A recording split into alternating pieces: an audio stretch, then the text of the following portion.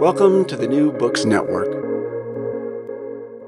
Good morning. Thank you for joining me for another exciting episode of New Book Network's African American Studies podcast. I am your host, Katrina Anderson. Today I am joined by Dr. Nicholas Radburn, who is a historian of the Atlantic world who focuses on the transatlantic slave trade. Dr. Radburn is also a senior lecturer in the history of the Atlantic world at Lancaster University. University, excuse me. He also has three major digital humanities projects. He is co-editor of the AHRC and the NEH-funded project Slave Voyages, which is a digital memorial to the 12.5 million Africans who were forcibly transported through the slave trade. He is the principal investigator on the AHRC and the NEH funded toward a digital archive of the Atlantic slave trade, unlocking the records of the South Sea Company. He is also co investigator of the AHRC funded Legacies of the British Slave Trade project. He has also developed models for two French slave ships that have been used in museums and classrooms around the world. Dr. Radburn, thank you so much for joining me today. Thank you for having me, Katrina. So, today we're going to be talking about your magnificent book, Traders in Men. Can you tell us a little bit about the book? Absolutely. So, this book is really motivated by a single simple question, and that is why did Britain's slave trade, which is uh, small in scope and scale before 1700, explode in size to become the largest in the Atlantic world by the mid 18th century? And I answer that question by looking at the people who drove the trade expansion, the so called traders and men. And those are the thousands of merchants who were in Britain, Africa, and the Americas who enslaved people.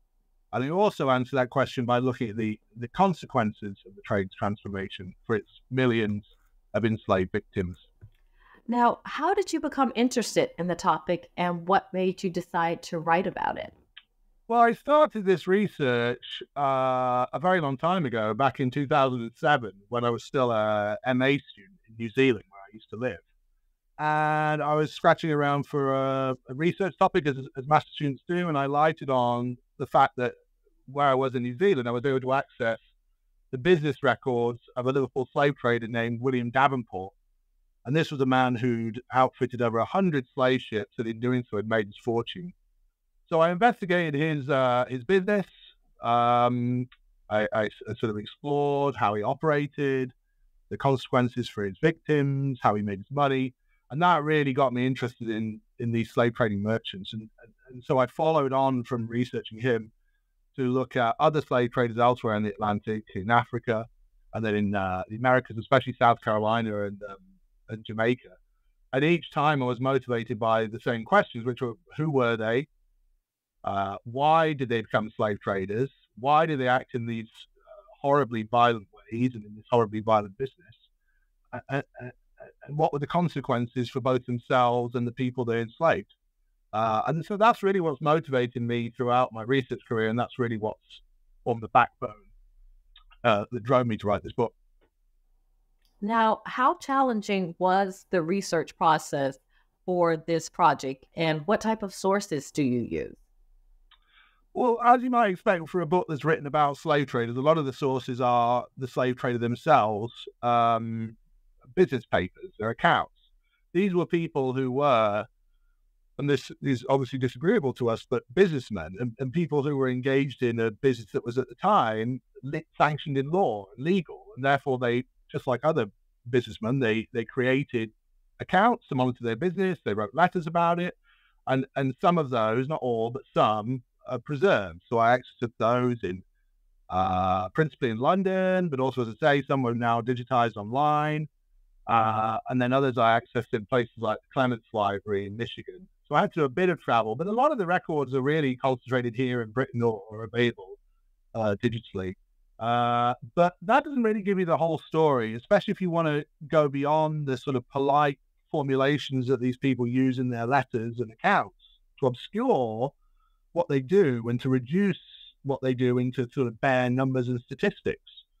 So a lot of the sources I looked at too were accounts of abolitionists, were attacking the trade, witnesses of people giving witness statements to Parliament, abolitionists, um, hearings on what they saw in the trade, slave narratives, uh, diaries of people who were engaged in slave trading or were, or were observing slave trading. So pretty much any source that I could obtain that gave me insights onto how the slave trade worked the, and the people involved in it, both the enslaved and their enslavers. Now, was there anything that surprised you or that you learned while you were researching? Yeah, I mean, the, the thing that really surprised me was the sort of shared mindset and the worldview of these people who are engaged in the slave trade. We would like to think that slave traders, given that their business basically revolved around capturing people, forcing them aboard slave ships in the most horrid fashion, I'm sure we'll talk about that, buying and selling them, separating them from their families, beating them, torturing them, all the horrors you would expect of slavery. We would expect those people to be sort of self reflective about that, perhaps have guilt, perhaps give thoughts on it, agonize about it in their diaries or their letters. But I really didn't see pretty much any of that. And I think that really indicates what we see here are people who are comfortable in what they do, view it as legitimate, and, and have very few moral compunctions about it. And that was really bracing to see, especially when you see the kind of acts that are, you know, the sort of actions that they, they're carrying out on the enslaved and their victims. Wow. And so now I want to dive into the book to talk a little bit about who were these traders of men that you mentioned in the title? Who were they? Well, the first thing to know is there are a lot of them. Uh, so the slave trade is by the mid to late 18th century enormous. And we're only talking here about Britain, let alone France's, Portugal's, America's, Holland, all the others. If we just confine ourselves to Britain, it's a trade in which uh, across the 18th century, about two and a half million people will be enslaved, and, and something like 11 or 12,000, about 10,000 ships will be go across the ocean. And so, for that trade to be sustained at that kind of level, you're talking about a huge number of people who have to be invested in it as merchants and engaged in it. So in Britain, there are maybe something like 5,000 people who outfit slave ships that we know about. In each African port where people are being sold from, and keep in mind there are several hundred ports that are engaged in the slave trade in the 18th century, might be two or 300 merchants in any particular year. And likewise in the Americas, there's a huge number of merchants who are who are selling the captives when they arrive off of the ships. So we're talking about a trade that probably entailed something around, and this is just the people who literally bought and sold captives from the ships or transported them across the ocean. Not talking here about the other slave traders who were elsewhere the Americas or in Africa. At least 10,000, possibly somewhere like 20,000 people, possibly even more. So you might think, well, they're enormously numerous, diverse, given that they're in Africa, the Americas, in Britain. Uh, and it's very different. They speak different languages, of course. They have different religions. They have different backgrounds, um, sort of ethnically, culturally, different races, of course. The African slave traders are black. The European American socialists tend to be white, uh, they would, they would, it would be impossible to make any generalizations. But that's actually not the case. And that was one thing that really struck me in researching them. Uh, they tend to share a very similar social background. They tend to be from a sort of middling social background, middle lowing. So we're here in low, Britain, they tend to be some sort of brewers and farmers and that kind of thing. Uh, in Africa, they tend to be people who aren't in the major ports engaged in Atlantic trade until the slave trade takes off. America, they tend to be sort of small colonial merchants or migrants. And migration is actually a big part of this story too. Uh, a lot of them are migrants to the ports to get engaged in this business. Uh, so, so lowly social origins, movement, that sort of ties them together. And the other is of is fierce ambition. If you want to know why people engage in the slave trade, which was one of my questions, it sort of animated this book, there has to be something that animates it because there's lots of other trades out there they could be participating in. And the answer is they see the slave trade as a route to, to hoist themselves up in society, to make their fortune quickly. And so they're incredibly ambitious and incredibly ruthless as well. Their ambition to make something of themselves fast is what makes them also incredibly violent and incredibly free of compunctions and willing to do the horrid things that we see uh, that are inherent to slave trading. Um, the, the, sheer violence of it um, is connected to their lowly social origins. That is just so amazing. So I want to ask you, like, what was the slave trade like in pre 18th century? Yeah, so this is the point I start the start the book with is if you look at Britain's slave trade at the beginning of the 17th century, let's say, it is effectively non-existent. There is no British slave trade really. Uh, if you look around 1700, uh, well, actually, just a little bit before that, it's certainly grown and it's grown very large. And that's because of the growth of the places like Barbados as a sugar plantation colony, and to a lesser extent, the growth of places like Virginia as a tobacco colony that will be importing increasing numbers of um, enslaved people. Uh, likewise, there's growth in Africa, where you see places like modern day Ghana take off as major areas where people are taken from, and in London, where the trade is principally organized. So there is a slave trade in the 17th century, Britain's slave trade. It is a large one, uh, and it and it involves the enslavement of almost half a million people. So it's not insignificant, and it's important to know that. And that half a million people, remember that each one of those uh, people is a man, woman, and child who face the horrors of enslavement. This isn't just bare statistics. But if you look at the, what the slave trade looks like afterwards, that's when you start to see why this trade is small, because uh, it will explode and become so large. I'll talk about that soon. Um, what you see in the 17th century is the trade concentrated entirely in London. Uh, all the ships go out of London, with, it, with almost no exceptions, being organized by joint stock trading companies that have shareholders, and most of those shareholders will be in the southeast of England as well. Uh, the captives who will be putting on board of the vessels from those companies will go from only a relatively small number of locations in Africa, and they'll be taken to a even smaller number of locations in the Americas as I said before, principally Barbados. So it's a trade that is um, geographically constricted um, in Africa, Britain, and the Americas. It involves relatively few enslaved people being dragged into it. Obviously, that needs to be attached to caveat, as I said before, and um, involves investors who are who are taking out in shares and in, the, in these companies and not fitting out slave ships. Um, so it's a it's an important business, but it's one that's quite constricted in size. Wow. And then so if you're thinking about the changes, what happens? How is it transformed by the time we get to the 18th century? But what we see in the 18th century is that trade that I mentioned, described just now, before 1700, which is really concentrated in London, particular parts of Africa, and then to Barbados, just explodes in size. It goes from a trade in which just under half a million people will be enslaved to one in which over almost 3 million people will be enslaved in the 18th century. Right? So it so it massively expands. I think I say in the introduction to my book, they ship as many people off that Britons do in the uh, in the 20 years leading up to abolition in 1807 as they do across the entire 18th uh, 17th century. That's the, the magnitude of this transformation. So if you just think of it in, in the sheer numbers of victims, it, it's bracing the transformation. And again, it's really important to emphasize that, and it's easy to lose sight of this. And when I start talking about almost 3 million people, it's almost unfathomable to think that each one of those was a person who each had an individual life story and an individual experience within the trade uh, and was as one of its victims. Um, the sheer scale of sort of human misery caused by that expansion is really breathtaking. Um, if we look at the where the trade is, it changes entirely. So in the 17th century, it was all out of London. Here in Britain, it shifts uh, out to little ports elsewhere in the country, principally to Bristol and then Liverpool. And Liverpool will be the major slave trading port in the 18th century. But it also goes to places like Lancaster, where I live, Whitehaven, and all these little ports around the coast. So it really migrates out and, and spreads across the country. And that's the story we see too in Africa. Uh, in the 18th, in the 17th century, sorry, most captives were taken off from a pretty narrow band of coasts centered around modern Ghana and Benin. Uh, during the 18th century, Britons will carry off captives from ports stretched across 3,000 miles of coastline, and they'll take them to ports in the Americas that stretch from Boston all the way to Buenos Aires and everywhere in between.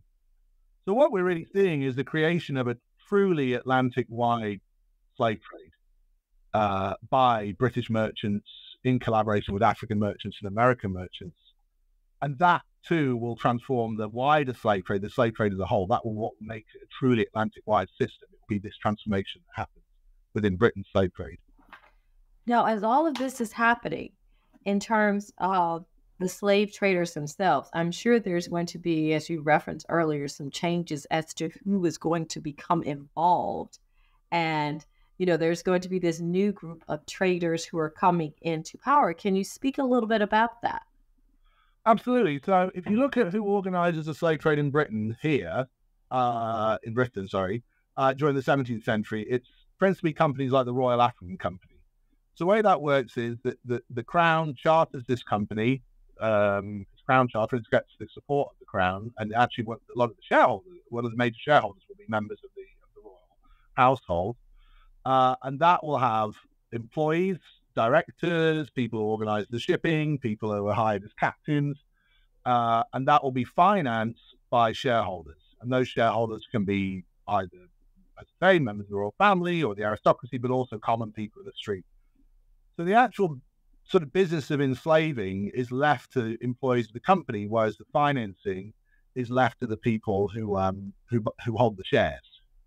They're just return, expecting return on investment. We see a complete change in the 18th century.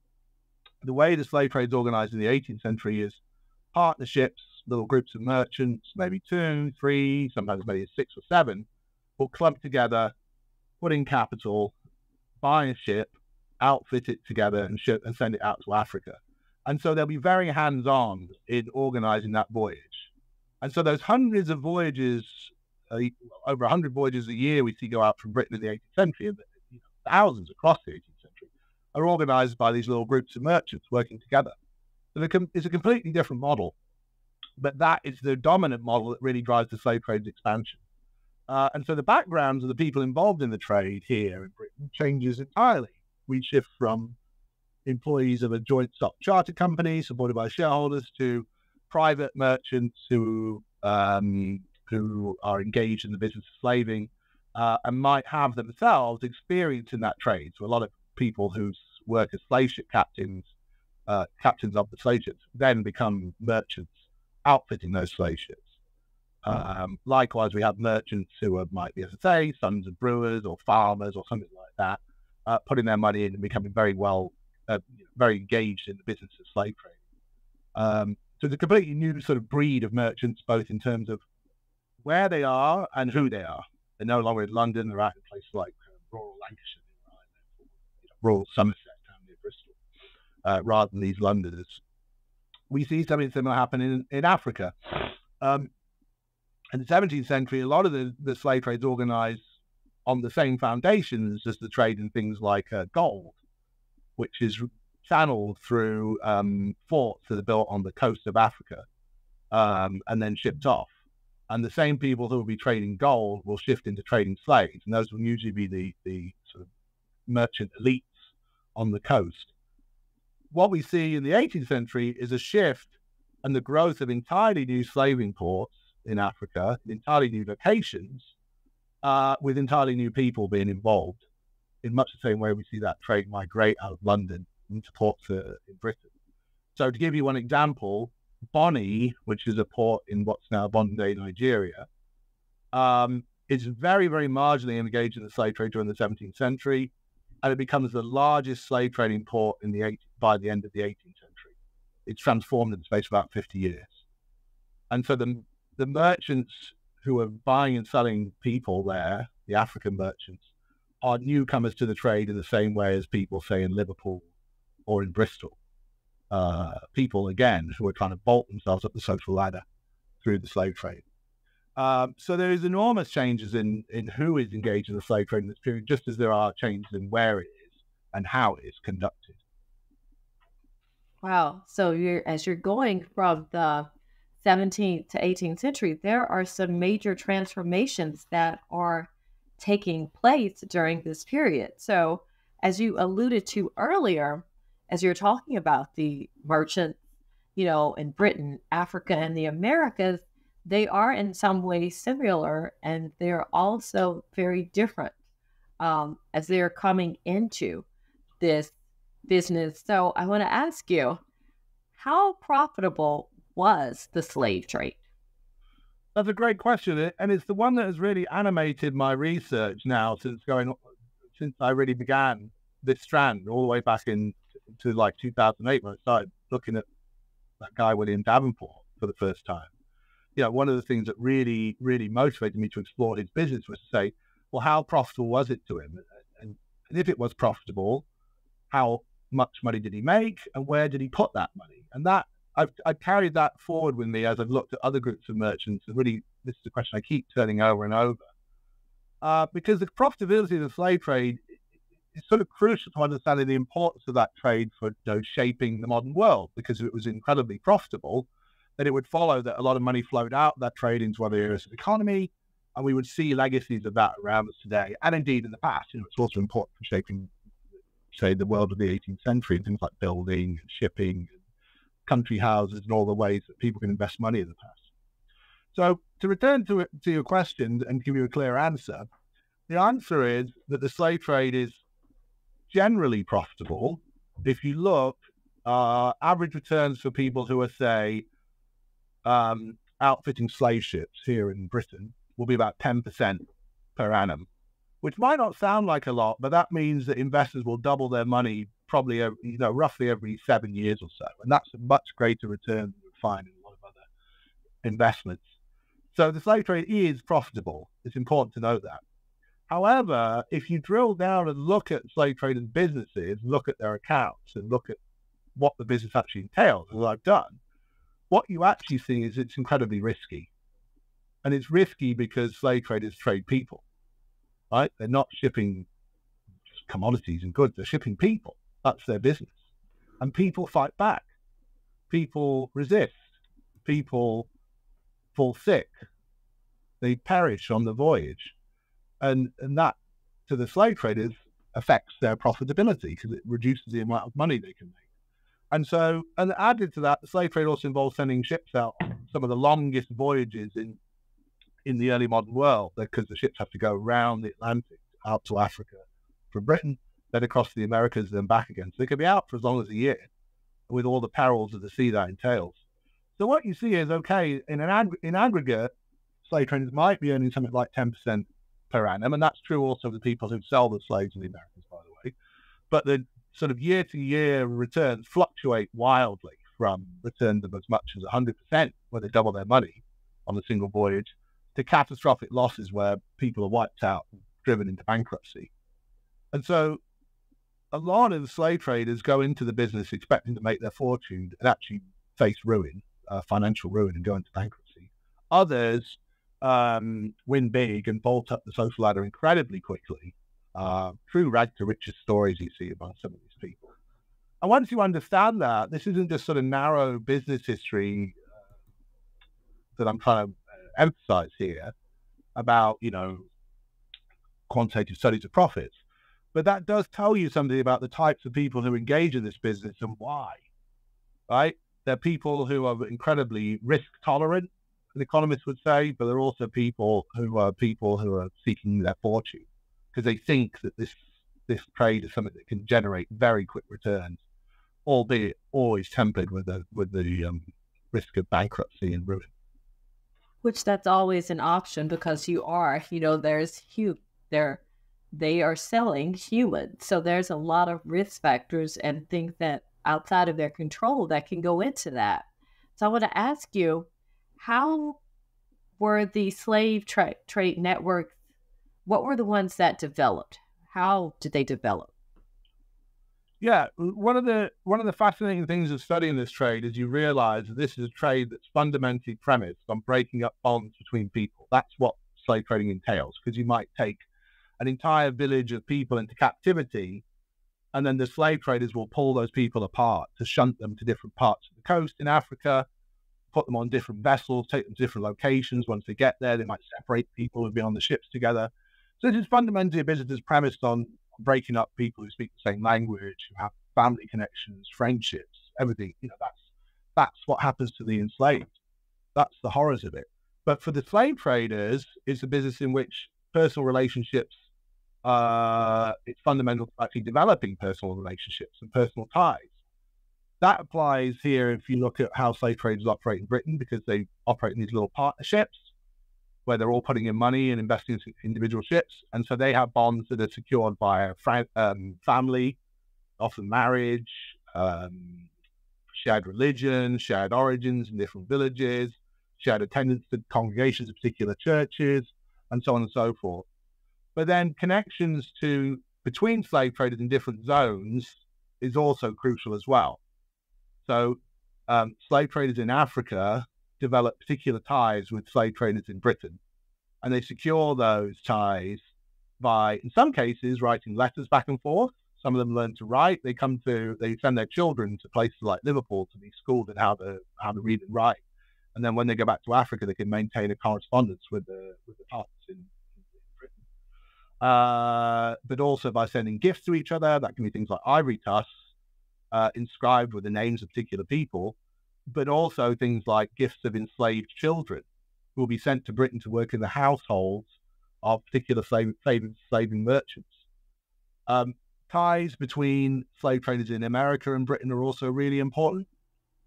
So one of the things I explore in the book is when the ships get to the Americas, how do they know the captains of the ships? How do they know which colony to go to? Because remember, Britain's American um, empire by the late 18th century has you know two dozen different colonies.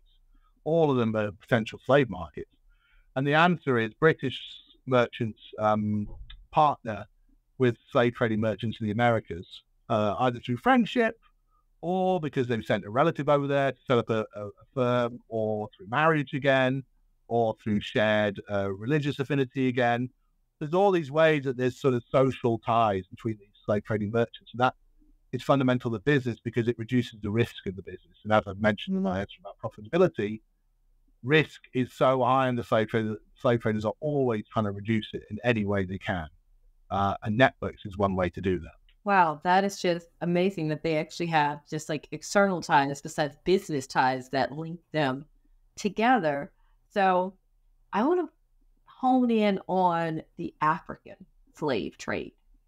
How were what happens in the African slave trade? How are the slaves gotten? Um, and what happens to them?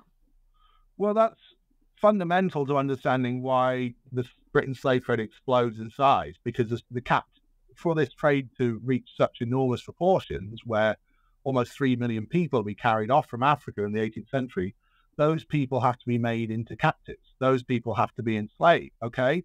So, one of the questions of the book is how does that process work in Africa, in the interior, away from the coast, away from where the ships are? Uh, and, and the obvious answer is no matter where you look, violence is fundamental to this to this process because no one wants to be a slave they have to be forced into captivity there has to be some sort of violent process that forces people into into the slave trade, either in, in interior in Africa an, interior African slave trade, and then out to the to the transatlantic slave trade too. Um, but actually, if you look at uh, different African areas of the African coast where the slave trade is, really takes off during the 18th century, you see quite a lot of change and a lot of difference. So I'll give you two examples from uh, the two major areas of Africa where most of the captains going into Britain's slave trade are drawn from. And that's the so-called Gold Coast, which is modern day Ghana, and the of Biafra, which is modern day Nigeria.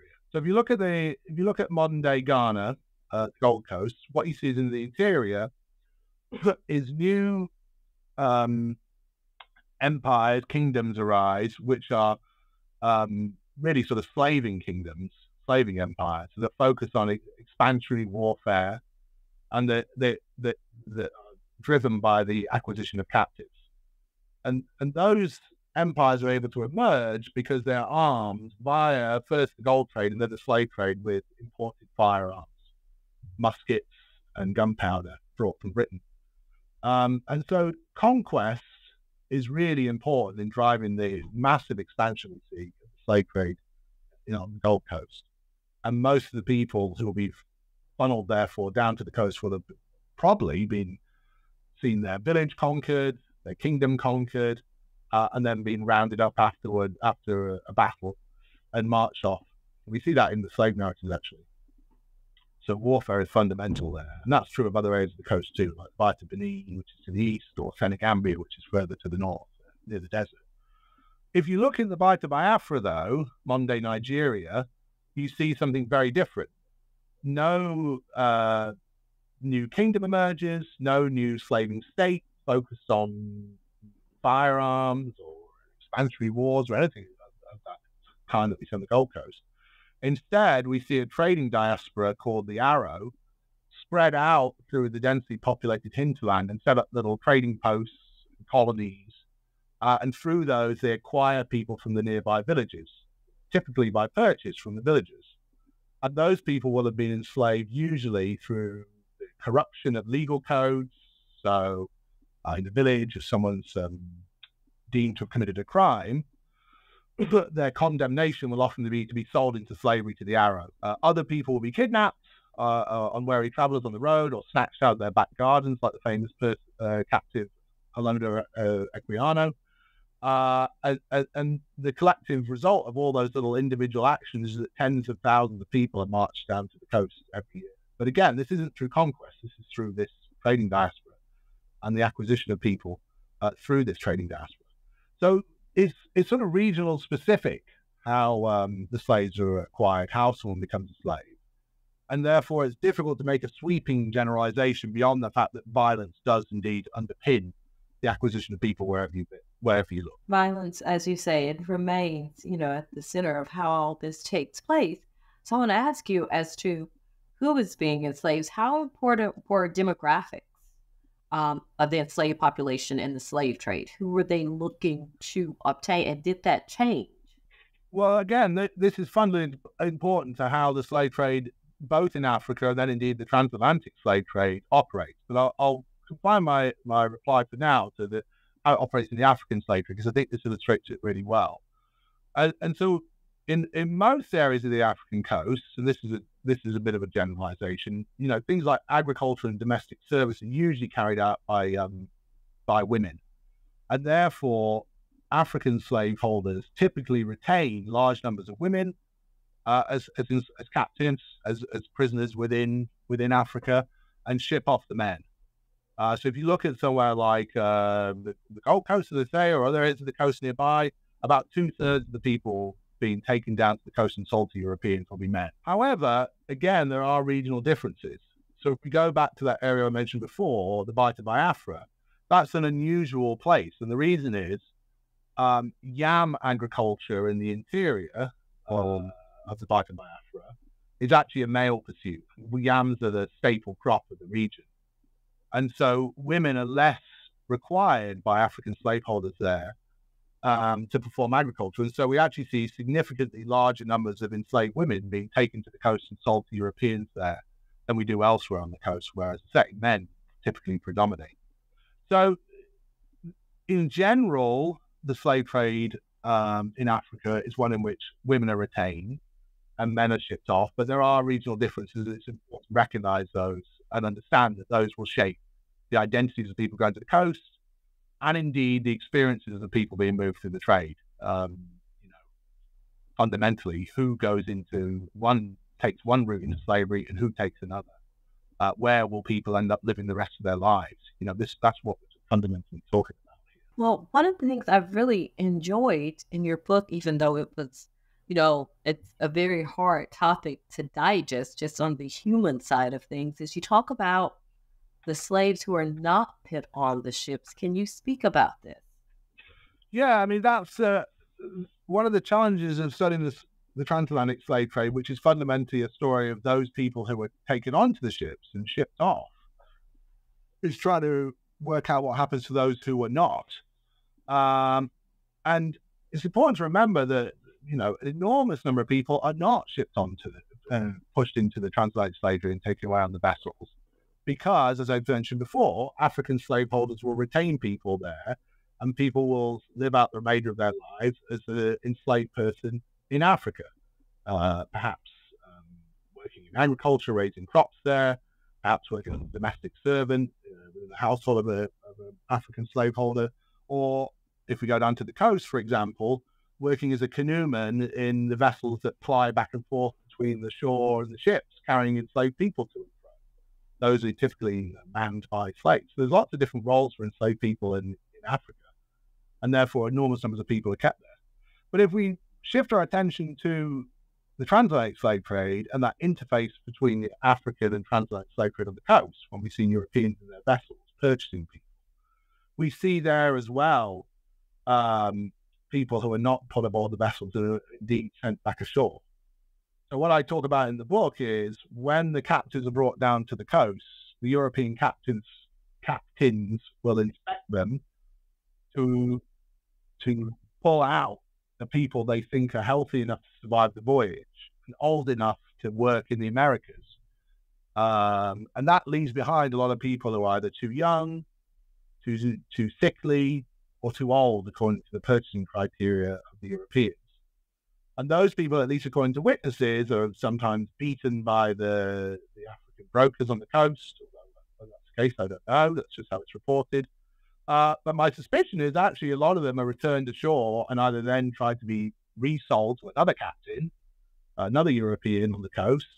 Um, and so we see a lot of these people having to endure multiple of moments of inspection and potential sale, and eventually people being um, being sent back ashore and then perhaps marched back into the interior. So it's a long-winded way of saying that there's definitely a sort of gravitational pull of captives onto the ships, but it's not always one way. And a lot of people do go back ashore and do go back into the interior and do remain in uh, Africa as slaves, even if they may have had that traumatic encounter with the slave ships during their lives. That's just so fascinating to think about. And so I want to ask you, you know, we are going to the ships. So you have these enslaved Africans now who have been pulled from their lives that they were in and they're taken to these ships. What was that like? You know, I have a vignette in the end of the one of my chapters on this that I stumbled on when I was just going through the letters of um, these um, slave traders who who uh, work in the forts in modern day Ghana, what's now modern day Ghana, and they're writing back and forth to each other about their, their business. And one of them describes acquiring an enslaved woman and her child. She's got a little baby with her, and she's rowed along the coast in a in a longboat, probably by a European crewman, having been sold to the slave ship. And, and the officer on the ship says that when she gets to the vessel, she immediately and is brought aboard, she immediately goes out of her senses. And no matter what they do, they can't seem to sort of get through to her. And, so they actually send her back ashore and say this person has gone mad. And, and the guy who is reporting this, who, who lives on the coast, um, just writes, "Well, this is this often happens." And what you see there is that is the sheer terror and horror of these people who are brought into this alien environment, this, this these vessels, which look completely different than anything that, um, especially those people who live inland, would have seen, surrounded by the boundless ocean, and inhabited by people who also look radically different to what enslaved Africans used to. That is to say, these are white Europeans with you know different coloured hair, speaking a peculiar language, wearing peculiar clothes, uh, who are very violent, probably shouting and barking orders, uh, and surrounded by um, hundreds of captains aboard the vessel who were chained and, miserable.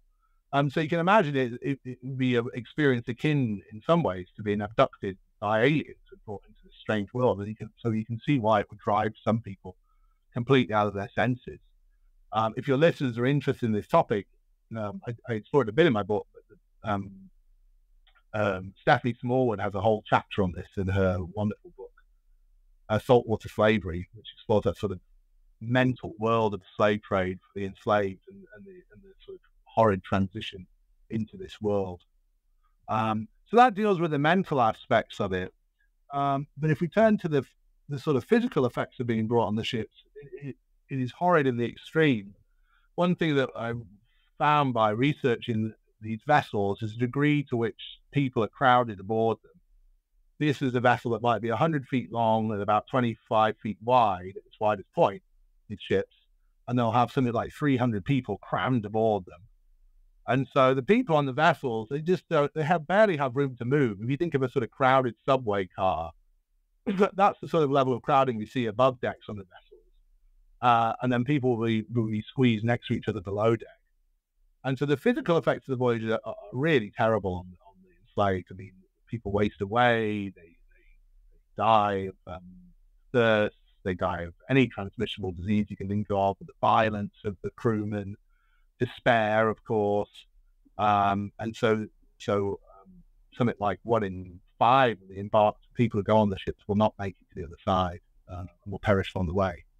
Um, I'm happy to take more as, you, as we go through. Well, you know, it's interesting. I was as I was reading, I noticed that you use um, Marcus Rediker's term "floating dungeons" to describe the ships. Um, can you explain why that was?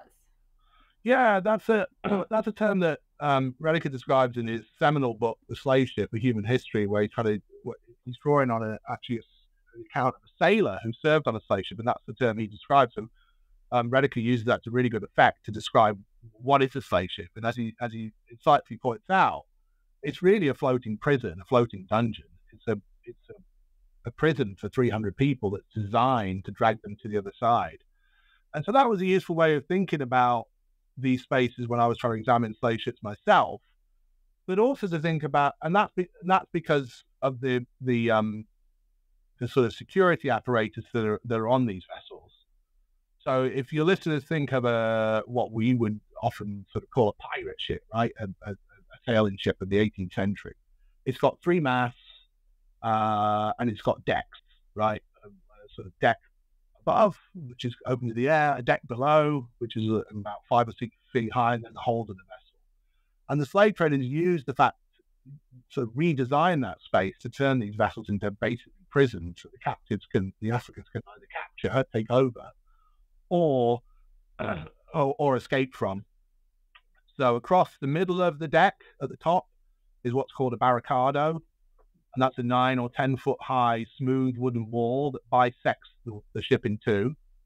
And so the African men will be imprisoned on one side of that wall, and the women behind it, where the, most of the crew will be. All around the net will be what's called quarter netting, which is just a, a, a sort of net that's um, strung all the way around it and that's like a cage that keeps the people in, so they can't leap over the side and escape, or even hurl themselves to their deaths in the sea. And then below deck, the um, the space below that room that's you know, area sort of five or six feet high, that's divided up by walls as well to separate enslaved from each other. And then um, shackles and chains are used as well.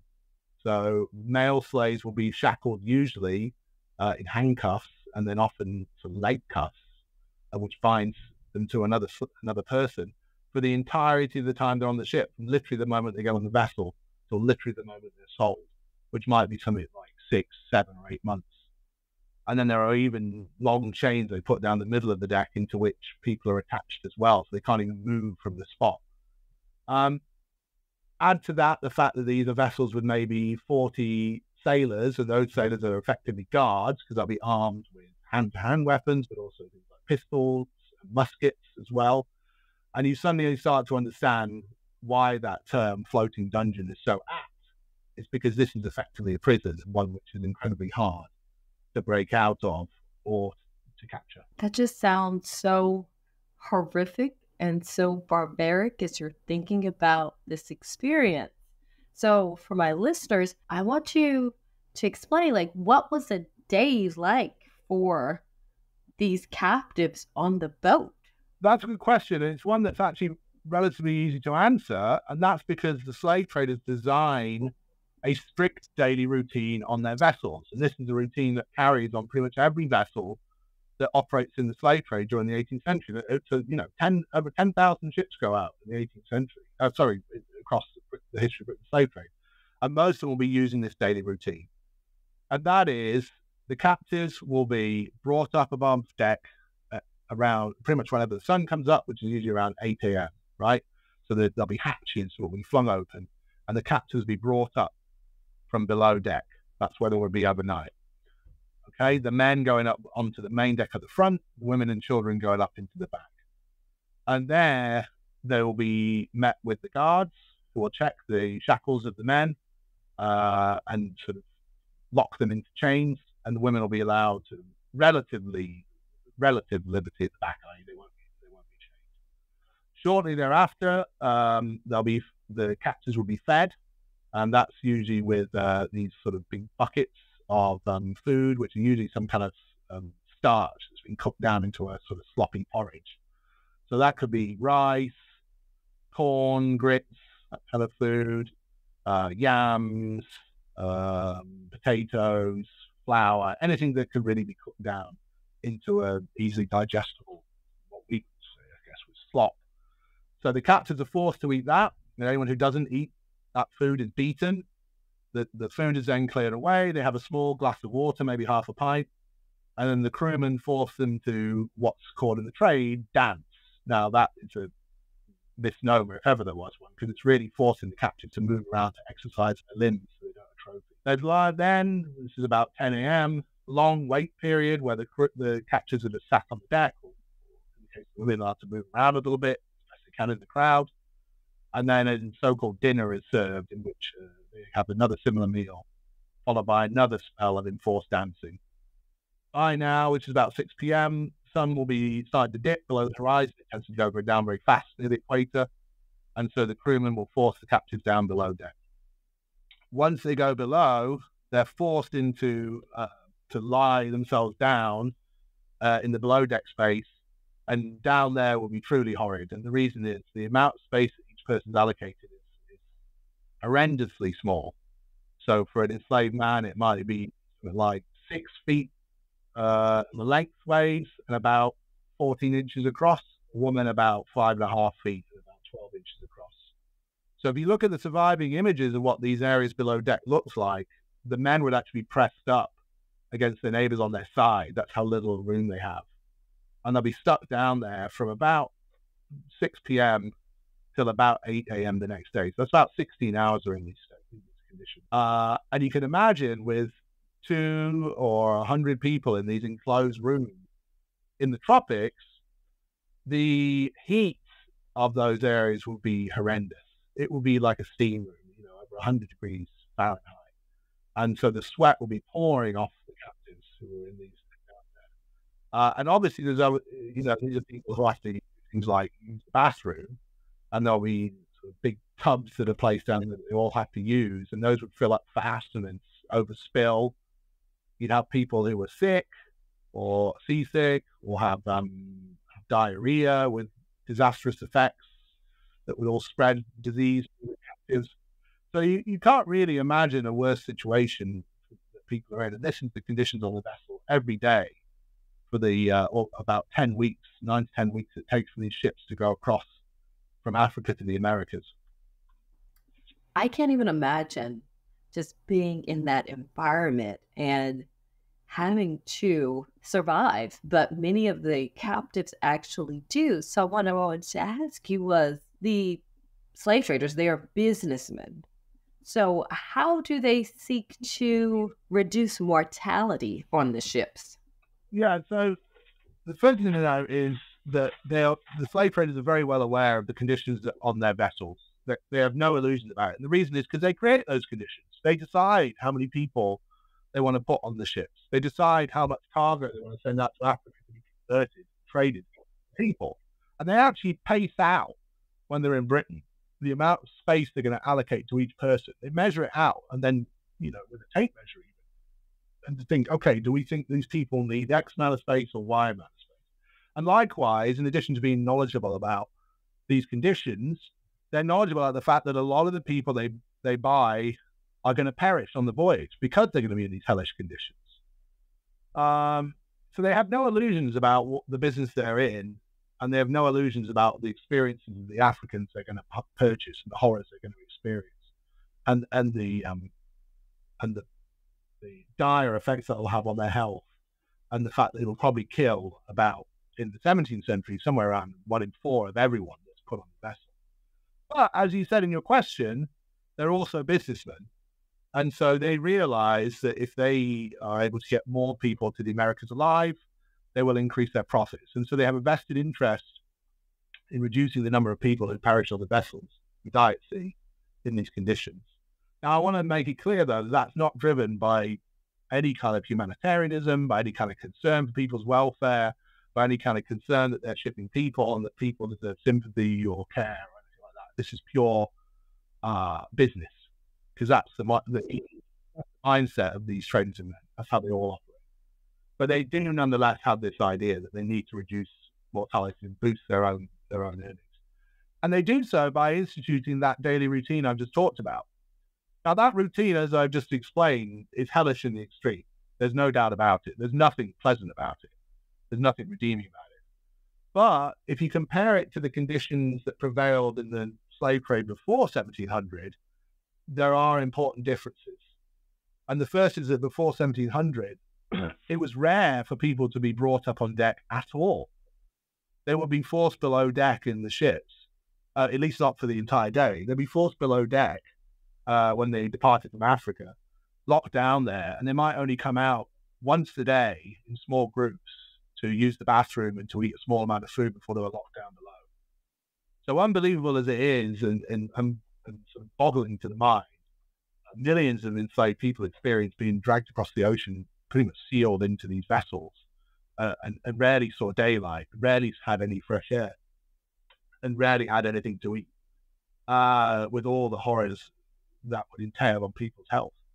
So that daily routine I've just described is really an invention of the late 17th, early 18th century as they're transforming the trade, as they're expanding it, and as they're thinking, how can we bring down mortality on the vessels to boost our profits? Because what they realize is bring the captives above deck during the day and keep them up there for even for just eight hours.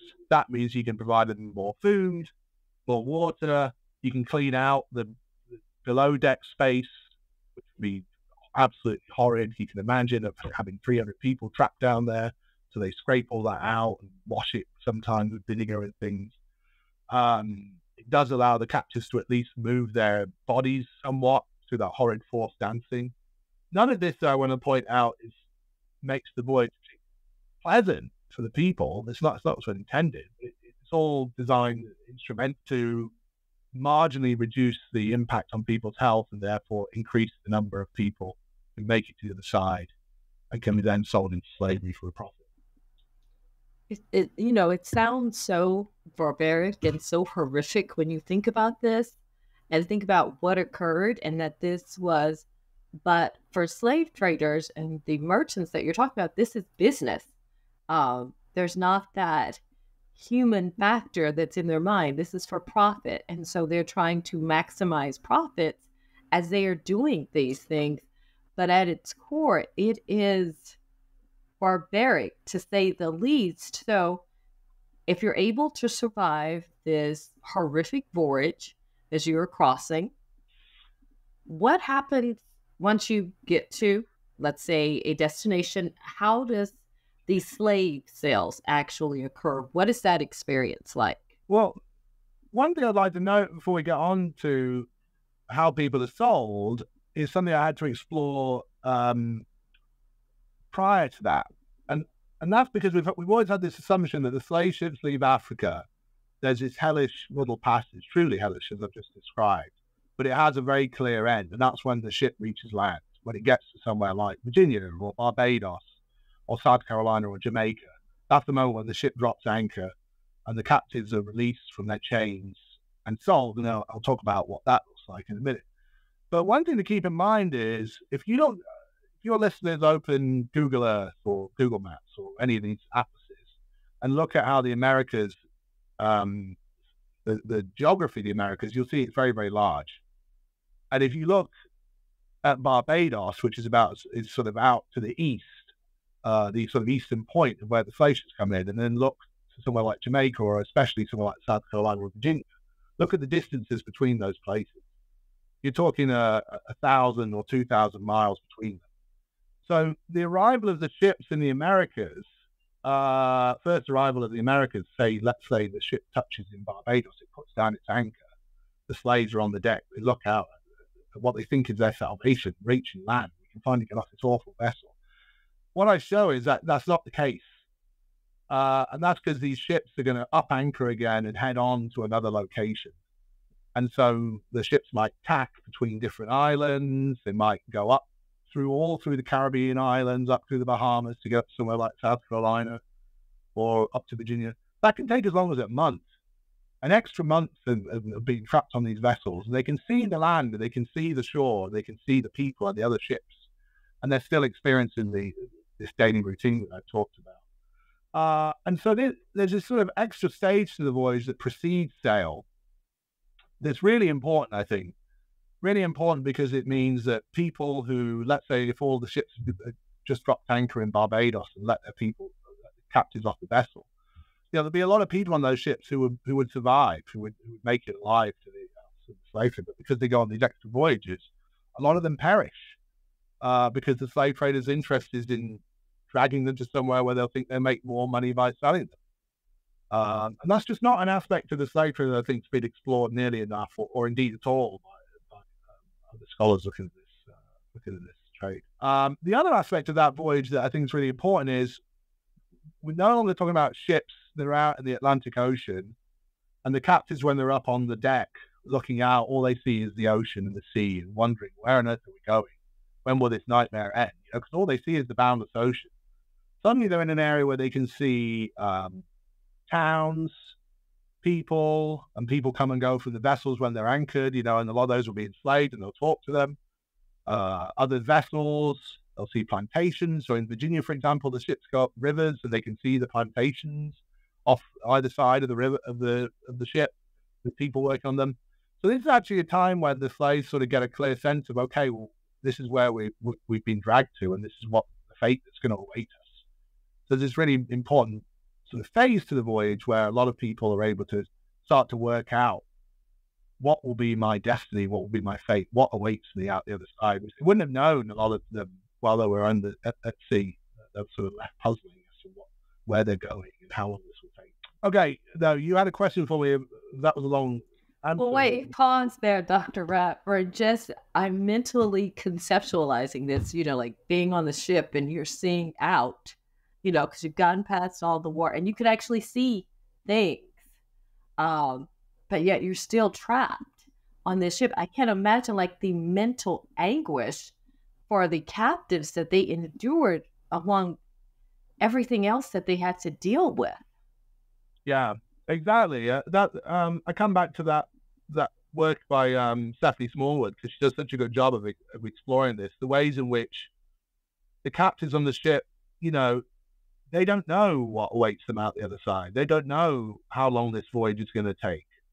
For all they know, they're going to be on the on the vessel forever, carried along by these strange otherworldly beings, perhaps to be eaten by them. That's often what they think that the, whites are pining them to eat them. Um, and, and I always, whenever I teach this aspect of the slave trade to my students, and we use primary sources where slaves are talking about their experience on the ship and they talk about this, I often say to them, you know, it's hard to think of this, but in some ways that will be equally as tough as the sort of physical anguish of the boys, physical travails, the not knowing, the confusion, the, the sort of mental um, overload of being in this in this space, but also the anguish of thinking this might just go on forever. I mean, it, it, it sort of beggars belief um, you could you could be trapped on a vessel in these sort of hellish conditions and not know that it's finite and not know the fate that awaits you on the other side. Um, but it's important to recognize that because that was the experience of these millions of people who were trapped in the slave trade. It is just, it seems like it's just a hellish experience all around, even before you, from start to finish. There's no, you know, the torment that the captives had to go through, and some of which I, it's just, it's hard to conceptualize it because it doesn't seem like it real, yet it was. But it comes back to this was a business uh, the humans, unfortunately, were the commodities um, that were being sold during this period in time. So let's dive into those unfortunate sales, which in your book it paints just another horrific picture of what occurs um, for them as they're actually going through the sale process. Yeah, this is another aspect of the slave trade that I think hasn't received as nearly as much attention as it deserves. There has been some wonderful work on it. Again, um, Steffi Smallwood's book does a good job of exploring this, and, and Sowande' Mustakeem's uh, excellent book as well. Um, Slavery at Sea explores slave sales too. But, but really, you know, if you compare the amount of ink that's been spilled on the Middle Passage, that voyage from Africa to the Americas to how much has been written on what happens to enslaved people when they reach the Americas and are sold, it, it's it's there's a huge disparity. So I really wanted to go some way to correcting that by exploring these sales in my book and say, what do these sales look like? How are people sold when they get to the Americas? What does that process look like? And what's the experience like for the people who have to endure it? And what I basically show is that these sales are much more drawn out than you might. Right? Our sort of typical view of a slave sale is really dominated by our idea of the antebellum US South, that is, you know, the auction block, sort of typical auction block of the US South. But that's not how these sales occur in the Americas, uh, in, in the era of the slave trade. Uh, instead, what happens is the ships come into the harbor, uh, an advertisement's placed in the local newspaper, and they actually put posters around town as well to advertise it, to tell all the buyers who are potential buyers to come down. And there's a sale about to start. There's a day on which the sale is meant to begin, usually I think about 10 a.m. And so the, the buyers flock down to the ship, and at the preordained time, there's an announcement made. They might fire off a little cannon or hit a drum or shout. The sales open, and they fling open either the gates of the sale yard or pull a plank down to access the ship, and the buyers will flock aboard to buy the captives. Um, and that, what they'll do is they'll, the buyers will fan through the vessel, grabbing people they want to purchase, shoving aside those they don't, and drag them off, and then say, okay, I want to negotiate the sale with the, with the American slave trade, and then, and then march them ashore and take them back to their to their locations. Um, and that process occur, ha- continues day after day until every single person on the on the vessel is sold, regardless of their health, their age, their gender, whatever. All of them are, are sold, and, and the, the moment the last person sold from the ship, that's the moment when the when the sale is announced to end. Now, what I've found by looking at just an enormous number of um, records of these sales is that process drags on for about three weeks uh, on average. And when you factor in that the vessel is sat in the harbour with the people on board for somewhere between one and two weeks, what you're looking at is that the, the sales take about half as long as the middle passage. So this is a significant period of time in the experience of the enslaved on the vessels. It's not in, it's not you know over in a day. Usually, it usually stretches on for a long time. Uh, however, as with a lot of things in, in the trade, like I was talking about profits, the sale lengths also fluctuate enormously. So some of them might go on for a month, two months, three months, etc. Uh, some of them might be concluded in as short as an hour, in which hordes of buyers just flock onto the vessel, ru- literally run aboard, grab everything, and, and carry them off. Um, so there's huge variety in, in the length of these sales, and that those are really going to shape uh, the experiences of the people on board. You can imagine these terrified Africans who, who don't really have a good sense of why they've been taken there, what this place is, getting seized by these colonial buyers and dragged off. Or in these longer sales, having to stand on the deck of a ship or in, a, in the yard of a colonial merchant for week after week while buyers come in and inspect them and shove them and, and, uh, you know, pull them apart from their shipmates. Uh, you know, you can start to see why these are, I argue, really important moments for the enslaved who have to endure them. That to think about after you have endured this horrific voyage, then you are going to be essentially going through a process whereby you are physically examined and not easily physically examined as you're waiting and waiting for someone to buy you. I just can't, you know, as an enslaved person, that just that it boggles the mind um, that this actually occurred, and it was fairly extensive that this was occurring on a regular basis, and you know, it's hard to say that this was business as usual um, during this period, but it just seems like it's so hard to say that, but it was business as usual. Um, yeah, and that's one of the points I want to argue that I argue in the book. I mean, I mean, this is the case with the other aspects of the trade I look at too, be how the ships operate, how people are sold in Africa, but it's the same with how people are sold in the Americas. What the slave traders do is work out this is how we're going to operate, right? This is how we're going to operate a slave sale in the Americas, for example.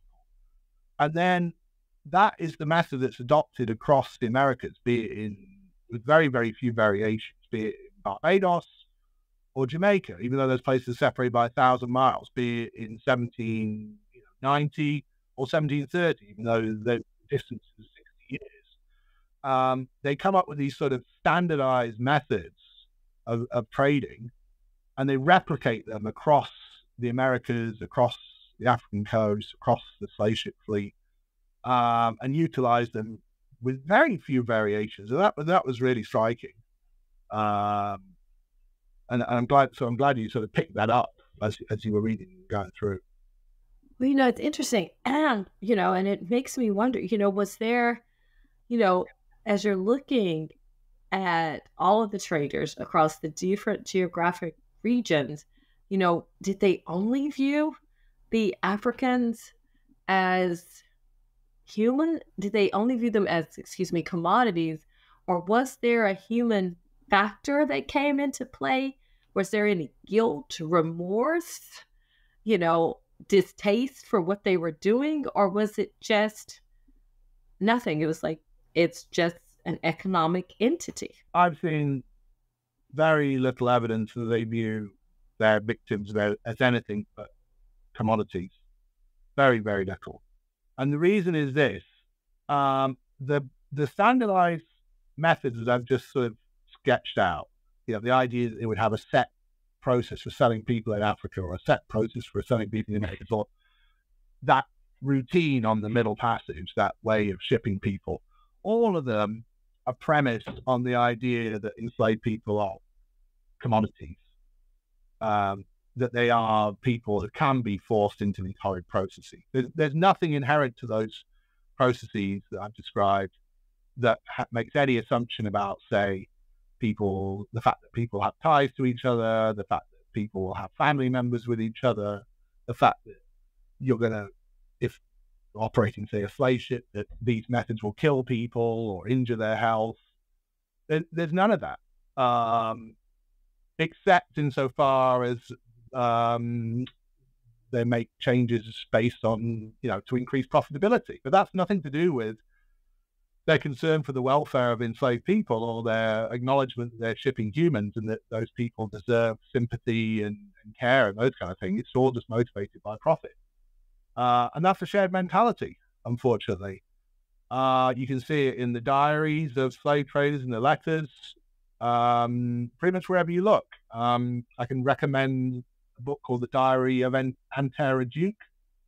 That's a project I worked on when I was still in New Zealand as a, as a researcher. There's a diary of a um, African slave trader in Old Calabar, which is a port in what's now modern day Nigeria.